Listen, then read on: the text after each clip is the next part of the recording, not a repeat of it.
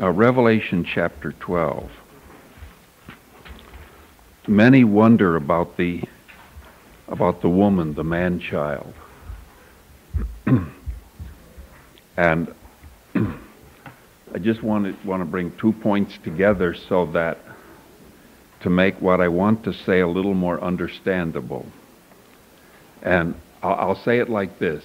This is what I believe concerning the, the man-child and the woman. The woman, and this, this is this, and, and I believe I can explain this. So would, the woman is the is the present day church, the body of Christ. The man child is the overcomer that's going to rule and reign. Now, I, I, can, I can qualify that by saying this because the man child, she brought forth the man child. This is Revelation chapter 12, verse 5. She brought forth a man child who is to rule all nations with a rod of iron. Now, keeping that in mind, a man child who's to rule all nations with a rod of iron. Now, Revelation chapter 2. Revelation chapter 2, verse 26. To him that overcometh and keepeth my works unto the end, to him will I give power over the nations, and he shall rule them with what? Rod of iron. So we have a man child born out of a woman that's going to rule all nations with a rod of iron. And then the Lord Jesus Christ said, To him that overcometh, will I give authority over the nations, and he will rule them with a rod of iron. So there's either two competing rulers, or the two are one and the same the, the, the, the, logical explanation is that they're one and the same. So, the, so the man child then is, is, is the, are those that have qualified. For instance, in Revelation chapter 5, verse 9, they sang a new song, saying, Thou art worthy to take the book, to open the seals, sir, for thou wast slain, and hath redeemed us to God by thy blood out of every kindred, tongue, people, and nation, that spans all of history and all the world, and hath made us, see, that's the man child, that speaks of, of one that has come to full maturity, hath made us unto our God kings and priests, and we shall reign. That reigning means ruling.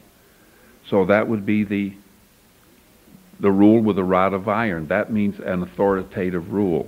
Now, Coming back to Revelation 12 then.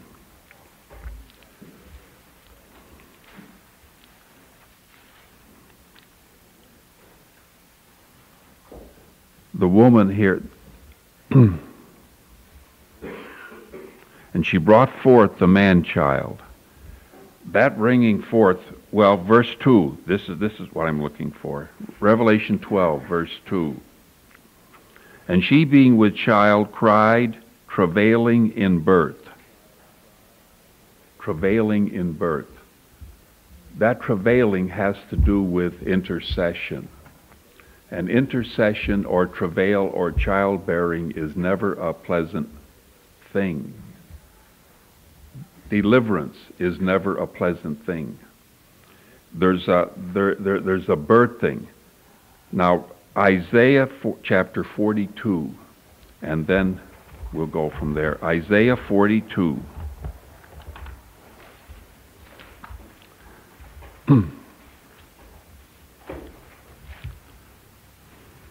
Verse 13.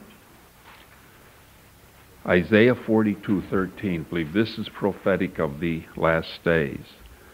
The Lord shall go forth as a mighty man.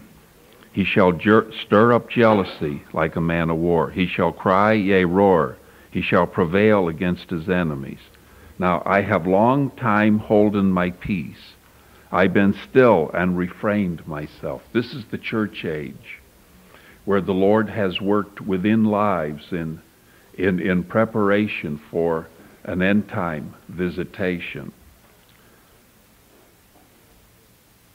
I have holden my peace. I've been still and refrain myself. Now will I cry like a travailing woman. See, the man, the, the woman giving birth, the Lord. And I've had this sense for some time. Now will I cry like a travailing woman. That's the birthing, our preparation for the last days. I will destroy and devour. That is, is, is, is, is, is the, the, the Adamic being removed through that dealing, through that working, where our nature's being changed, where we're being released to come into the flow of the power of God. So then intercession involves a manifestation or an operation of God. Now, before I want to say, I want to say some more about intercession. I want to say a couple more things about the manifestation of the power of God. Isaiah, uh, Genesis, Exodus chapter 19.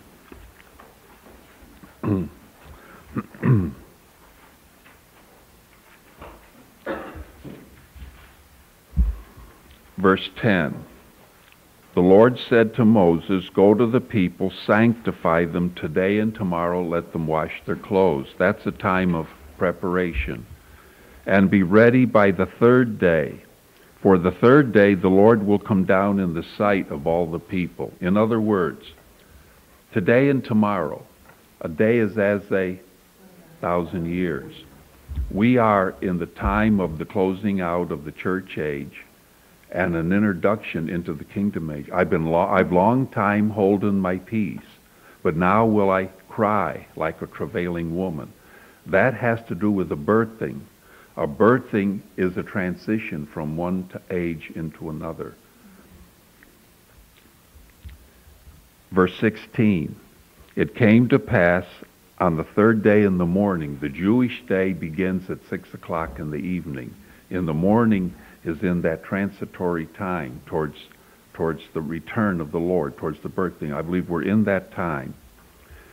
On the third day in the morning, there were thunders, lightnings, and a thick cloud upon the mount, and, a, and the voice of a trumpet. See, the voice of a trumpet, exceeding loud. Now, this voice of the trumpet, here's something interesting. Don't lose your place. Revelation chapter 4, verse 1 the voice of a trumpet exceeding loud. And this is, this is what we're hearing. It's a call into intercession. It's a call into the place of where, where, where the Lord can become active, prophetically, sovereignly active within our lives. Revelation chapter 3 verse 20 gives us the setting. Behold, I stand at the door and knock. If any man hear my voice and open the door, that's into the realm of the Spirit, I will come in. After, now chapter 4, after this I looked, behold, a door was opened in heaven, and the first voice which I heard was as it were of a what? A trumpet. That's a call. That's that prophetic call to intercession. That's that, that, that that, that creative call. A voice of a trumpet which said, Come up hither, and I will show thee things which must be hereafter. And immediately I was in the Spirit, behold, a throne. That's governmental. And so there's the birthing or an introduction to the governmental, to the eternal that's taking place. Now, on the third day in the morning, there were thunders, lightnings, a thick cloud upon the mount, the voice of a trumpet exceeding loud, so that all the people that were in the camp, what happened? What, what, is, what does the word say? They what? They trembled. See, see, under the power of God, the manifestation of the power of God, they trembled.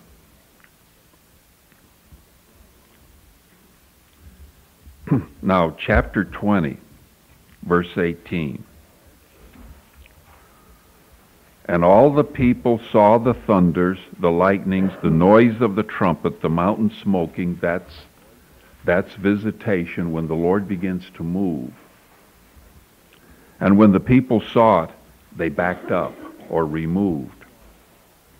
And they said to Moses, Speak to us, and we'll hear, but let not God speak to us. In other words, at that particular time, Israel rejected the manifestation of the power of God. The manifestation of the power of God is, is scary. Now, I've been privileged or blessed that I have been in several major, I mean major visitations or movings of God. I have seen it. I've seen intercession that is, I mean, it's absolutely scary. But I've seen the outcome of it. And I've seen lives transformed, changed, the power of God manifesting. And I have never seen anyone hurt or anything come out wrong through a manifestation of the power of God. It's always come out, always.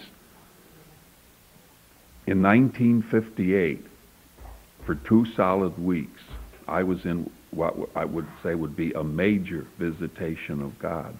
And some of the things that happened were absolutely scary, but lives were absolutely transformed. So then, there's a preparation of God for the return of the Lord, for the glory. Remember, after six days, Jesus taketh Peter, James, and John, bringeth them up into a high mount, and he was transfigured. In other words, there was a revelation of glory. When we come into that revelation of glory, the people trembled or shook. I have been in the power of God. I've had, personally, I've had the power of God move on me to the point where if it had lasted one tenth of a second longer or become any more intense, I would have exploded, died, or gone insane. I mean, I couldn't, it backed off, but that was all I could handle. When I came out of that, my life was changed transformed, and I begin to understand through the direct. We're, we are in the time. See, in the church age, it's it's this woman, the woman, the church, the travail, the birthing. The man-child is caught where? Up to the throne. So then, after so then, in Revelation four, I heard a voice saying, "Come up, come up." A voice of a trumpet saying, Come up. And immediately I was in the Spirit, and behold, a throne. The man child is caught up to the throne. To him that overcometh will I grant to sit with me in my throne. So then, the presence of God always. And, and it, this is Exodus chapter 19, verse 11. Be ready by the third day. This be ready. See, this is this is a millennial day. For the third day the Lord will come down in the sight of all the people. See, I've long time holden, refrained, but now will I cry like a travailing woman. Now I want to come back. Intercession always is instigated by the Lord. I could say now, let's pray. I cannot say, let's intercede. Intercession or a birthing is, any woman knows this, is intense. It's agonizing. And yet, something comes out of it. Life comes out of it. And so now will I cry like a travailing woman. And there's that birthing process where we are being introduced, where the power of God is beginning. See, the Lord, I believe gently, there's touches of it, then he backs up. And I believe that we're being introduced, that when in that greater day that's before us, in the return of the Lord, where there will come the manifestation of the power of God. The Lord is, is, is preparing us that we will accept it. Some in, in, in Toronto, for instance, I've been there, I haven't been there for a long time, but I was there in the beginning, and I saw people shaking until I was scary. But afterwards, they said one lady I remember in particular later later said she had flown from Holland. She heard something and she was desperate. I saw that woman on the floor shake like it was scary. I thought that her I thought her arms and legs were going to disintegrate. I mean, but later she said that she had met the Lord, that her life was transformed and changed, and testimony after testimony. And so Be ready by the third day, for the third day the Lord will come down in the sight of all the people. So in that, believe that, that we're in a special time where the Lord is beginning to move in these special ways, to reveal, you know, to manifest, to make his presence known. Israel, Israel said this, and I believe the Lord gave me this by revelation. Israel said this. The people saw, this is again, now Exodus chapter 20, verse 18. All the people saw the thunderings, the lightnings, the noise of the trumpet, the mountain smoking, and when the people saw it, they backed up. And they said to Moses, Speak to us, and we'll hear, but let not God. In other words, we don't want this. See, we don't want this. And this, and this, this, this is what happened. God withdrew from the people into a temple, an outer court where the people were, a holy of holy, a holy place where, where a priest went once a day to make a sacrifice. Then God withdrew into a 10 by 10 cubicle where a high priest went once a year, where the priest went in, the high priest went in once a year to receive a word for the people, went back out. That was not God's highest. That was his condescension because they said, the people said to the, Moses, you hear from God and tell us what he said, but we don't want these manifestations because they scare us. Amen. See, we are flesh. We're human. The God is powerful. Now, I'm different than some. There's a whole range of uh, in, in, in, in our makeups. There can be enough going on in me to set off a hydrogen bomb. It doesn't, it, it doesn't, it doesn't even show. Literally. There can be enough going on to set off a hydrogen bomb that doesn't show. Others, the Lord touches them and they go through the ceiling in 50 different directions. because that's, that's an emotional makeup. So some confuse the emotion with, with, with God. But see, the emotion is our reaction to God. It's not the presence of God, but it's our reaction to it. And we're learning because we haven't been here. And so we don't always do things right. now, let me see if I can find a verse. And then I want to come back and talk just a little more about intercession. Uh, I want to find a verse in Proverbs.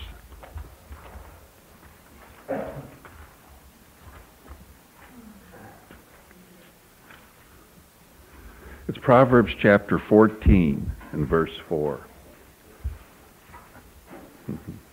Proverbs chapter 14 it won't make much sense when I read it unless you've heard, probably unless I've said something or someone that's heard what I said. Where no oxen, this is Proverbs chapter 14, verse 4. Where no oxen are, the crib is clean, but much increase is by the strength of the ox. Now, we're going to equate the ox to the supernatural, to the manifestations of the Spirit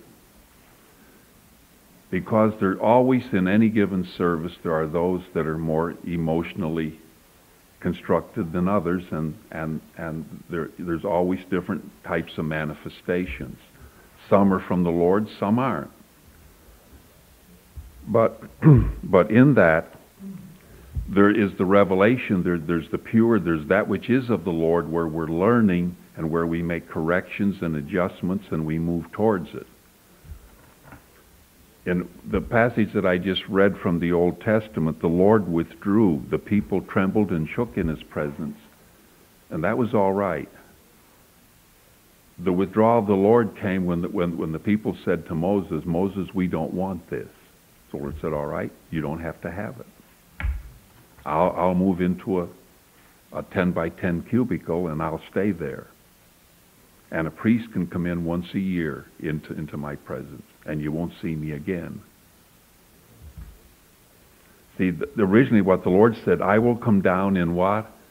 In the sight of all the people. The third day I will come down in the sight of all the people. Well, the people begin to tremble, shake, because God is, is, is, God. And I have had these experiences in, in glory, in the manifest presence of God. I want to tell you, it's scary. So then, the supernatural where there's no where the oxen where there's no manifestation of the supernatural there'll be no problems. The crib is clean. But the problem is this. Much increase comes by the strength of the ox, which means if you keep the ox in the crib, you're going to have some messes to clean up. it's kind of crude. So if you don't want to clean up the messes, what do you do? You kill the ox. You get rid of the supernatural. You get rid of the manifestations. And you won't have any messes to clean up.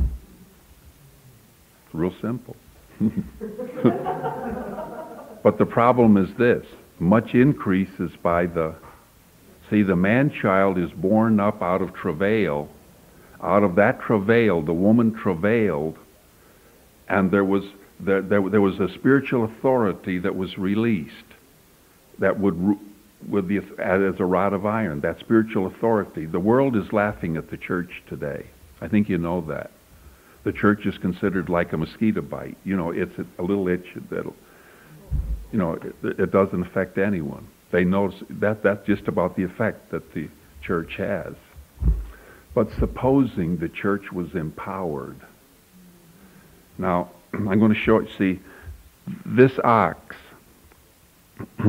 Much increases by the strength of the ox, the manifestation, the supernatural. But where there's manifestations because of our emotional makeup, there's going to be problems. People tremble and shake, and you get kind of nervous. This the Lord is showing me. Revelation chapter 1. Revelation chapter 1. Verse 12. This, this, this, I could almost write a book on this. This has been unfolding for months because I've been asking the Lord about the end time. Revelation 1:12 I turned to see the voice that spoke with me and being turned I saw seven golden candlesticks. This is the church, the whole range of the church, the fullness. In the midst of the seven candlesticks one like unto the son of man clothed with a garment down to the foot. In other words, the garment is from his neck to his feet. He's the head, we are the body. The body's covered. From that, what, what, what, what can be said is this. See, the body is covered.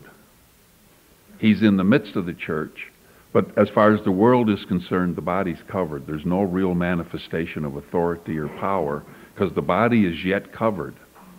But all creation is groaning, that's, that's their intercession, for the manifestation of the sons, the man-child. See, the sons, the man, the man-child, man-child means a mature son. That's all it means, a mature son, those that have come to maturity.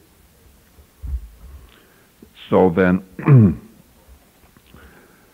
one likened to the Son of Man clothed with the garment. In other words, that that covering, this, this means that what's happening uh, within us, the change, the progression, the development in our lives is more important than what we're doing. See, the body's covered. It's not revealed yet to the world because we're covered.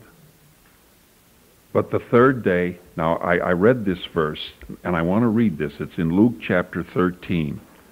I read the verse in Revelation in Luke 13, and then I can say what I want to say. And this, I believe, is where we're at presently and why the things that are happening are happening.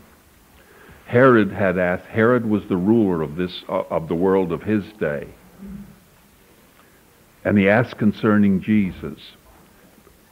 Luke chapter 13, verse 32. He said to them, Go and tell that fox, that's his opinion of politicians.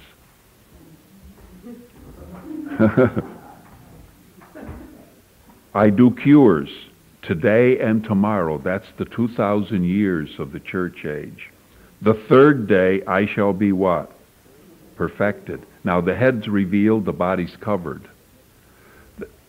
We're here. We're here as a gathering of the body of Christ. But we're here without the head. But he's at the right hand of all power and authority, ever living to make intercession. He's in the heavens as a bodiless head. We're here as a headless body. So that end time perfection, that third day, see, we're there, the closing out of the church age. That means the head and body are going to come together, and the body's going to begin to manifest the power, the resurrected power, see, the glorified head. After six days, Jesus taketh Peter, James, and John, bringeth them up. After six days, that's, see, that's today. Now, I want to come back to Revelation. He's clothed with a garment down to his foot. His head, his hair were white like wool. That's full maturity. His eyes as the flame of fire.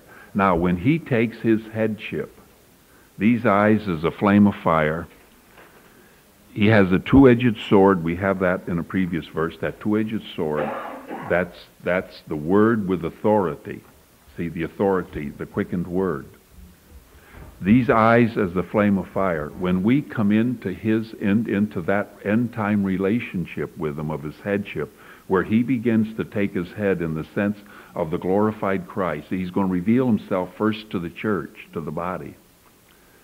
There's going to be an authority restored. And this is, this is what I believe. The days of Ananias Sapphira are going to be restored. You're going to be able to walk downtown anywhere walk up and said, you're a drug dealer, you're selling drugs, and unless you repent and stop instantly, you'll be dead within a day. See, the eyes is a flame of fire. The people, the, the people of this world will cry out for the rocks to fall on them. Why? Because there's an authority that's being restored mm, to the body. These eyes as a flame of fire is a spiritual authority, the rule of a rod of iron. Mm. See, we're, we're there. And so these the people shook. See, the third day I will come down in what? The sight of all the people. So then there's that empowering of spiritual authority that's coming. So there's a preparation where, where, where our being has to open to the manifestation, the operation of the supernatural. And, and it, it is scary. And so we can do one of two things. We can kill the ox, and there'll be no, the Lord will stay in his 10 by 10 cubicle because his desires to come out of the box. There's nothing in the Word that says about, about the temple. But let me, let, uh, I want to read something interesting. This, I know many people are looking for the, for, for the temple to be rebuilt, but there isn't, there isn't anything really in the Word.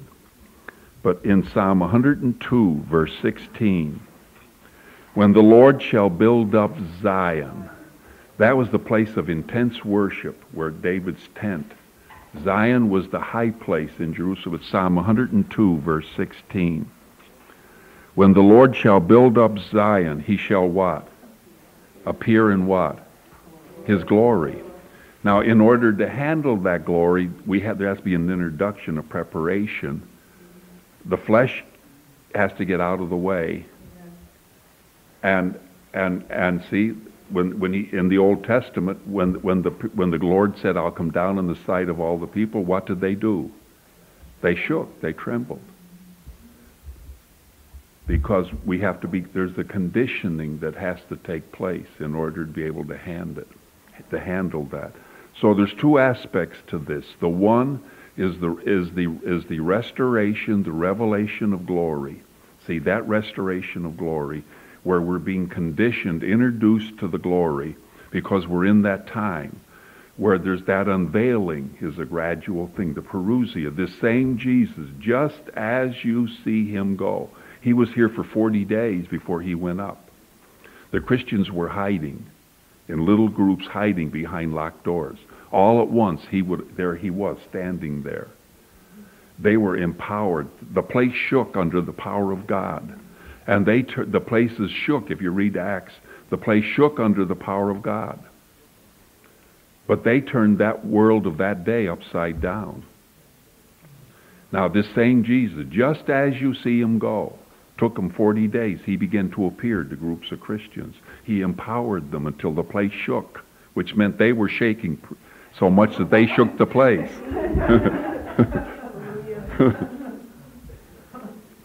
because we have to be conditioned. And I have been in some powerful visitations. The revelation, the understanding I have, the things the Lord's showing me have come out of those, those times of visitation, of, of, of the manifest power of God. And the Lord is seeking to reveal his glory. We're in that time of transition. And now will I cry like a travailing woman. See, and, and the Lord's going to come forth. And that judgment is going to come through the body. See, he's going, to see, the world is laughing at the body. And the prom, this, see, all that was lost, that Adam lost, is going to be restored. There's a tremendous healing movement about to take place. But it's not going to come through a new breed of Benny Hinn's. It's going to come in the body. And it's going to be, mm. see, it's going to be everyday people with no personality, no giftings, and no ability. And the Lord's going to begin to move powerfully through them. And he's going to manifest his glory, see, not with the enticing words of man's wisdom, but in, who knows the next word? Demonstration of the Spirit. See, it's, that's 1 Corinthians chapter, what is it, chapter 2. My speech, my preaching, I have prayed this hundreds, maybe a thousand times. I've held this before the Lord. My speech and my preaching is not with the is not to be with the enticing words of man's wisdom, but in demonstration of the Spirit and of power. Hallelujah. Glory. It's scary, I want to tell you. It's scary. But see, we're getting ready for the return of the Lord. And that voice of a trumpet, when it be, it's sounding right now, and there's an intercessory burden going out, there's the beginnings of a revelation of the presence of the Lord. See, that, that, that empowering. And the Lord's moving out. He's testing the water. When he walked with the two on the way to Emmaus, they said later, Did not our hearts burn? But when they came to the gate, that gate is that point of transition out of the earthly into the heavenly. They said, Did not our hearts burn within us while we were yet in the way? But when he came to the gate, he made as though he would go further. They asked him, they compelled him to come in. Then he broke bread and their eyes were opened and he disappeared. See, he was there. So then, the Lord is testing, in a sense, he's testing our availability, our willingness. We're in, and we are in the time of the parousia, the birthing of this man-child authority. This world, now, the word that was given to Eve was this. Satan, or it was in, indirectly to her, but the Lord said to Satan, you bruised their heel, but they will bruise your head. And I've often said, Lord, why don't you zap the devil? You know, be so, life would be so nice. and the Lord said, I'm not going to do it, but you're going to do it. See, that's the word that was given. You bruised their heel, but they are going to bruise your head. So there is an, an end time empowering where Satan is to be brought down. I'll, I'll read it. Isaiah, Isaiah 14. Isaiah 14. And we'll find it in Proverbs.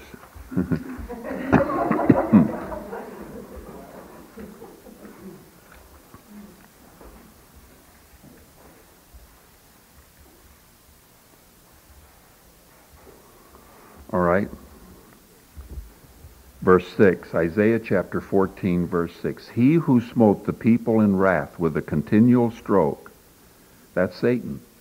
He who ruled the nations in anger is persecuted. How? By the overcomer, by the church, our worship. What's, what's the result of that? The whole earth is at rest and is quiet. That's the church being empowered. That end time power, that empowering. And the result is, see, the kingdom of God is righteousness, peace, and joy. That's the kingdom of God, the millennial kingdom. But it's going to be brought in through the body being unveiled, uncovered, empowered, the eye as the flame of fire. That eye, there's an authority, and it's going to begin with a healing movement, but it's going to be a ministry that's going to come through the body. Therefore, the Lord is beginning to move on the body to create an opening where he can move in, to make room. Mm.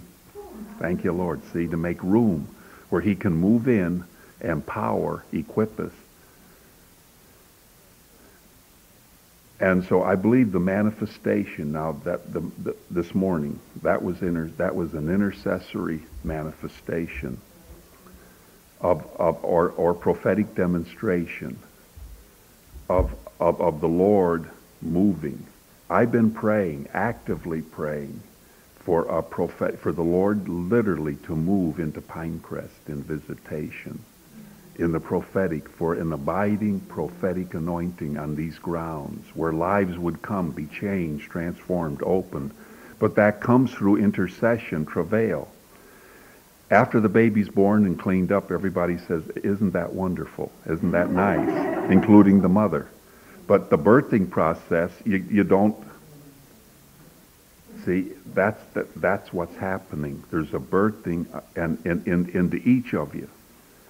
There was, there was an impartation into your life, and down the road you'll see that something happened. There would be where, where there was uh, that circumcision, that breaking in, where, where it, it, it, it takes, you, see, it's easier to guide something that's in motion than to get something in motion, and it takes a lot.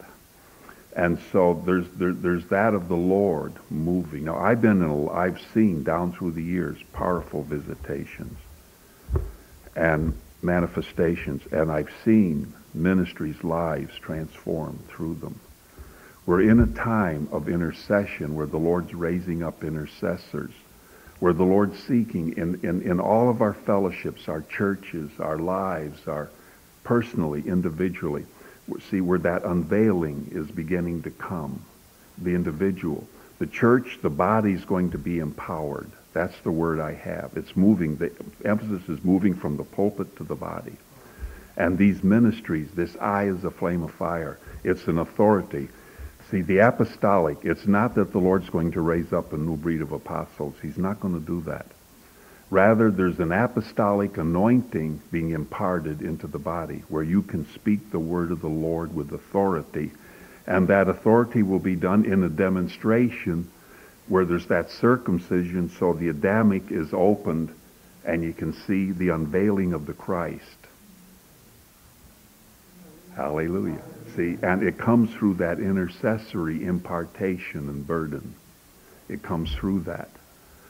And so we can, we, we, we can have a nice clean crib, a nice service with no problems.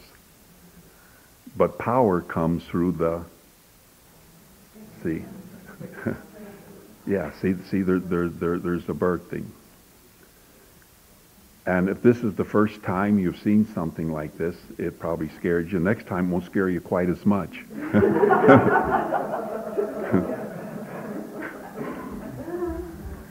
And once you've seen the result of something like this, you'll dive in, literally. When you've seen the result, see the outworking. In, in, in, incidentally, I just want to share one more thing about intercession prayer. God does things in three.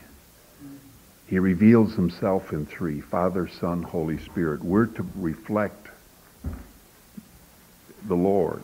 We're, we're, we were created in his image. Therefore, we're created in three, body, soul, and spirit. In nature, there's always a balance in threes.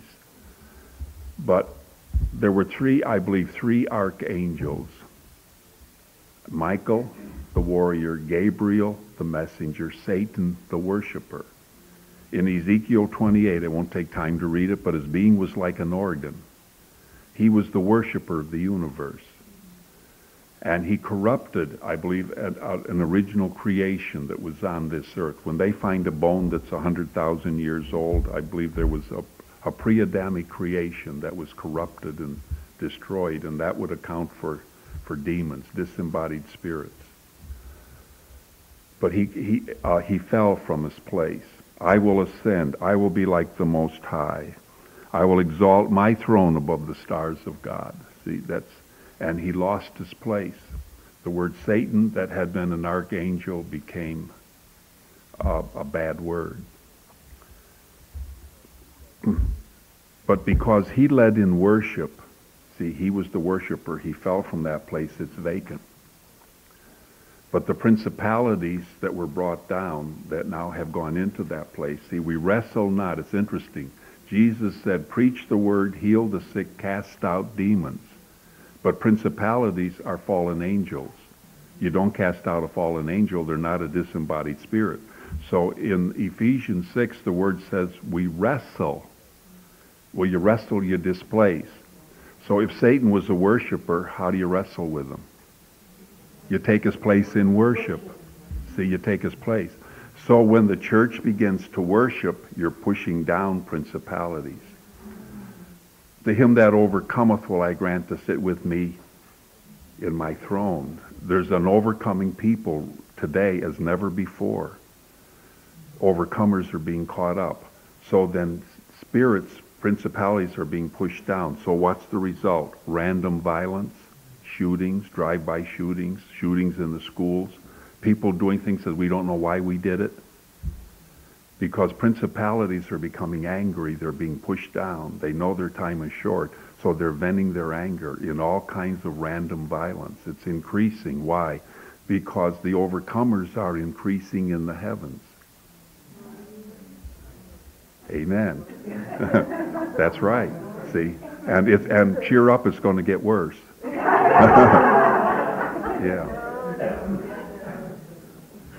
So there's that increase in random violence because see of, of overcomers. So then we're being brought up into the realm of the spiritual. There's that empowering. See that the the authority. The eye as as as a his eyes as a flame of fire. See that's the now Acts one eight for just a moment. Ye shall receive power. Acts 1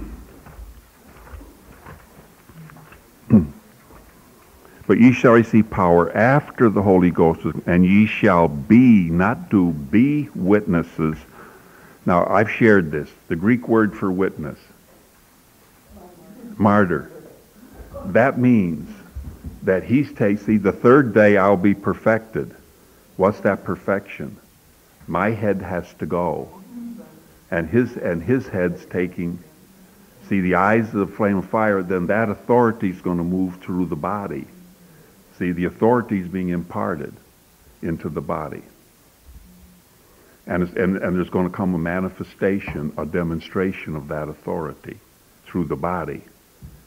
Because the word was to Satan, you bruise their foot, but they're going to bruise your head. It's the body that's going to do that. So there's, there is an empowering with the supernatural through the manifestations, the operation of the Spirit. We're being prepared because this is an end time truth, the revelation. Therefore, the present word of the Lord today is Romans 12, 1 and 2. I saw a movie some time ago in a little Baptist church several years ago, and they had this.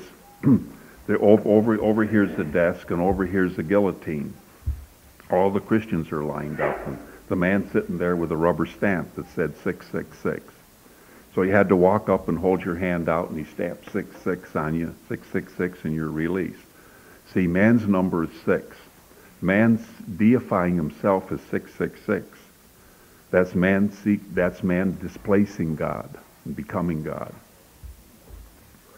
And so, but if you refused, you had to go over and bend over and zippity doo, off come your head. so then the rest of the movie was all about these people standing in line struggling. What are they going to do when they get up there? Are they going to compromise or lose their head? And this is this is supposed to be an end time thing, the Antichrist. Well, that they, I believe they missed it. I don't believe that's going to happen at all. There will be persecutions and all that. But we are going to lose our heads, but not to a, not, not physically to a guillotine, but we're to present our bodies a living sacrifice. See, that's, that's what the Lord is saying. Because this head has to go to make room for the glorified head. Therefore, if the glorified head comes, then the body has to be able to handle and respond to glory. And because we've never been in glory, there's all kind, we tremble, we shake, we, we do funny things, scare people. and see, all these things begin to happen, but it's a preparation for glory if we'll stick with it. It'll come out right. Whew, glory, hallelujah. See, it'll come out right. The Lord knows what he's doing. It'll come out right.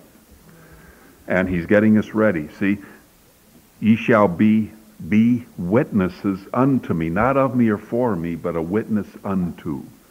That means that I'm, as I witness unto him, I become one with him, then his life is reflected through my life. He takes his headship. The head and body is beginning to come together. And so there's going to be an increase in manifestations, in the operations of the Spirit, in these things. It's going to increase.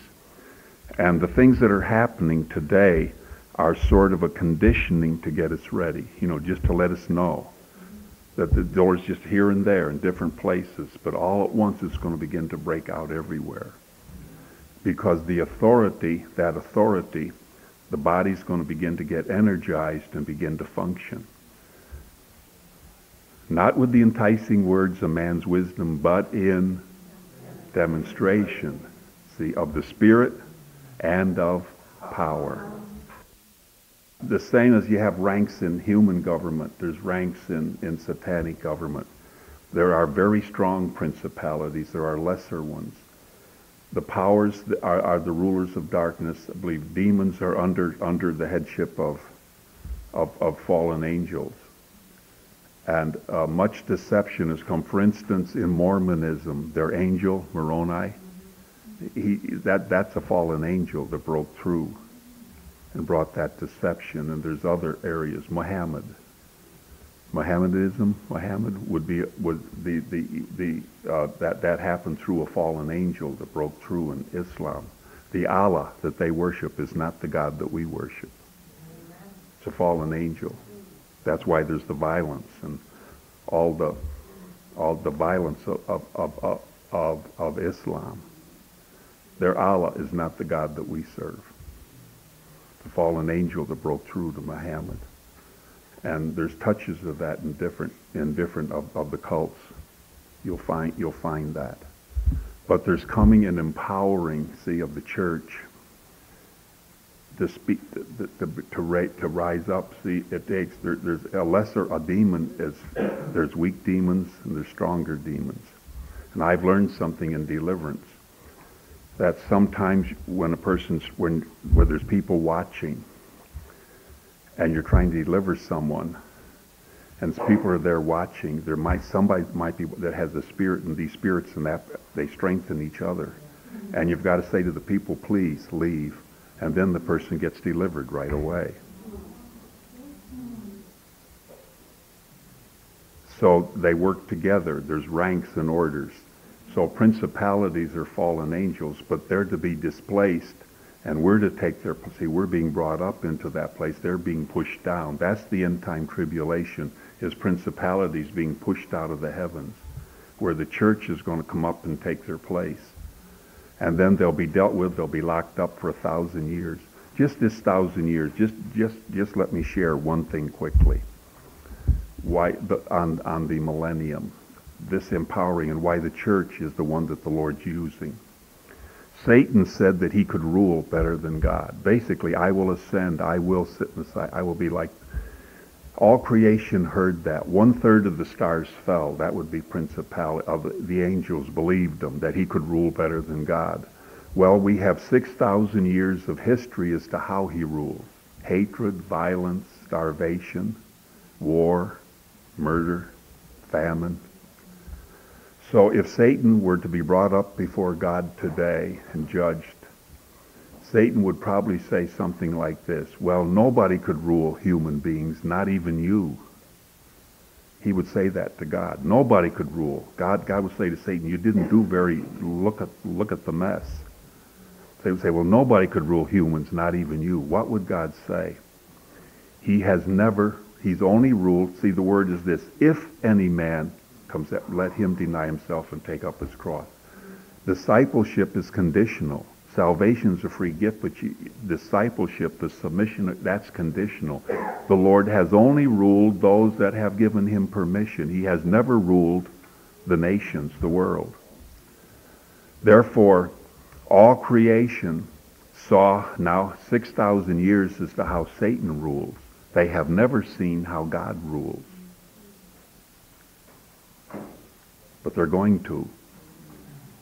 But because, because Satan deceived Adam and laughed at God and thought he, he frustrated the purpose of God, God in his infinite wisdom said, now, this rule is going to come through the very ones that you deceived. He's going to rule the nations through the church. And the word said, Paul said that. He says, he says, he says, you know, this thing about judging, don't you know that you're going to judge the world? See, him, to him that overcomes will I give authority over the nations. He'll rule with a rod. That's the that's that demonstration as to how God rules. and so we're being prepared and made ready.